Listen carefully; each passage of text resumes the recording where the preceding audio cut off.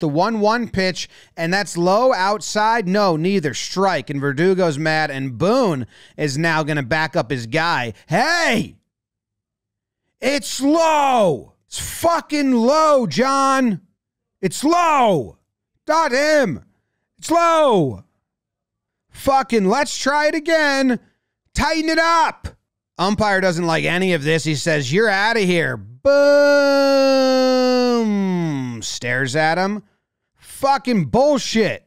The last one you called on the bat, he said it was called strike, right? His last time up. You know you missed that one bad. Okay, and now you're fucking him again on the low pitch. Bullshit, John. We're coming back in this game, and I need you to be really sharp right now. Let's go.